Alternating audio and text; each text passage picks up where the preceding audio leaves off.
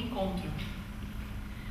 Naquele dia inesquecível, só me lembro de mim num avental verde, estendida na maca e prestes a ser anestesiada para não, não ver nem sentir nada do que ia se passar. Procurei um olhar, uma mão amiga, mas não havia ninguém para me apoiar. Então abracei carinhosamente minha barriga, como que me despedindo. Depois rezei profundamente e fui sendo desligada da realidade. Daí para frente, sensação era de que eu estava no fundo do mar, envolvida por uma névoa estranha, numa escuridão crescente. Foi quando um choro de criança me despertou. Era um choro alto, forte, mais forte do que todas as anestesias que me injetaram. Consegui ouvir um bebê chorando, mas não percebi exatamente o que estava se passando.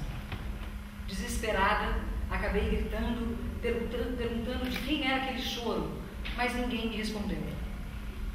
Eu tentava vir à tona da névoa em que mergulhara, entrar em contato com aquele som, mas ele me parecia vir de longe, muito longe.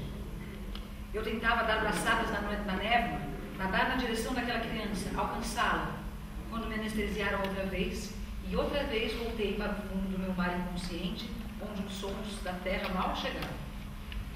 Acordei tremendo de frio e tristeza, nem sabendo por onde começar. Meu pai já estava ao meu lado e minha mãe à minha frente, tristes, sem palavras. Naquele momento percebi que nunca mais seríamos totalmente felizes. Por toda a minha vida, eu haveria de levar a lembrança daquele dia 7 de setembro de 1975, o primeiro dia do Ano Novo Judaico. Por anos e anos, era só fechar os olhos para ouvir de novo aquele choro e de novo reviver o desespero daquele instante.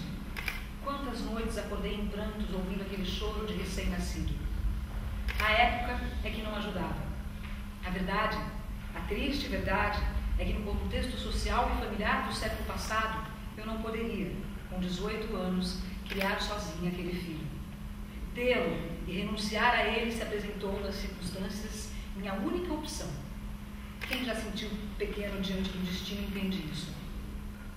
Quem já se sentiu pequeno diante do destino entende isso. O tempo foi passando, mas todos os dias, da hora em que acordava até quando sonhava, a lembrança me acompanhava. Queria muito saber como estava meu, minha bebê.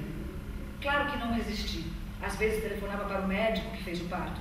Em cada ligação, revelações que me enchiam de alegria e dor. Alegria por saber que a criança estava bem e a família que adotara muito feliz com ela. Dor por não poder vê-la, cuidar dela. Na última ligação, soube que era um menino. Daí para frente, não pude mais, não pude ligar mais. Senti que seria interferir, atrapalhar. Só continuei rezando muito pelo meu menino. Era doído não poder participar da vida dele.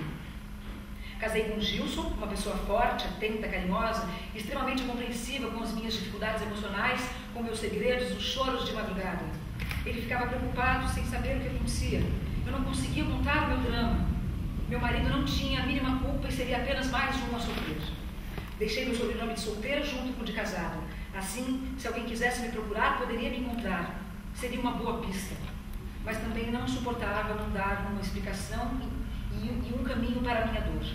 Resolvi então procurar um psicanalista para terapia bem freudiana, daquelas de mexer em todos os baús. O psiquiatra era a cara de Freud. Barbas longas, olhar profundo, quase não falava, mas me fazia ouvir minha voz e a mim mesma.